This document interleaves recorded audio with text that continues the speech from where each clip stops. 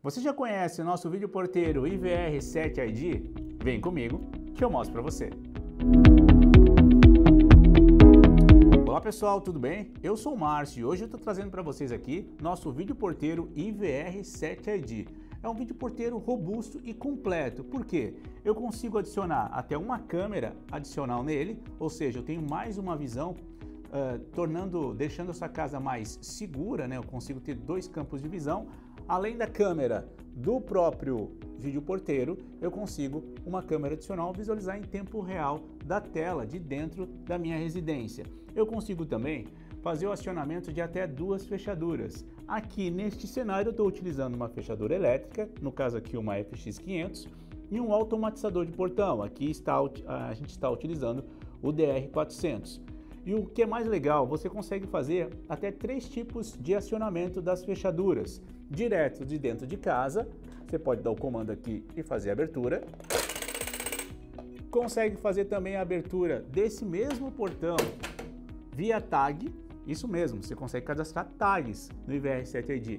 Então vem aqui e faz a abertura também via tag. Ou por botoeira, né? Botoeira interna eu consigo fazer a abertura. E o que é mais legal no IVR7ID que você consegue fazer a abertura do automatizador sem a necessidade de passar fios do módulo externo até o automatizador. Como isso? Via frequência de rádio, via frequência 433. Ela pode ser modulada em FSK, padrão Intelbras, ou código aberto, que pode funcionar em qualquer automatizador de portão com a frequência 433. Veja só, basta eu tirar do gancho e fazer a abertura do portão via 433. Simples, rápido e fácil, sem necessidade daquela quebradeira toda para passar a fiação.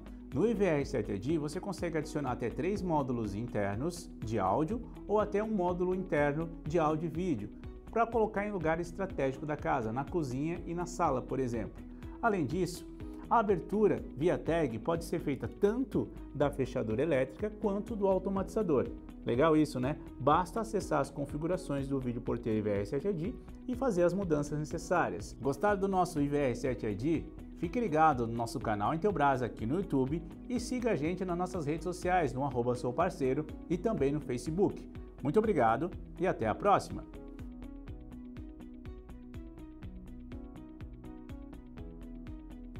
Calma, calma, não por esse vídeo. Quer aprender todas as configurações e sair com um certificado assim como eu?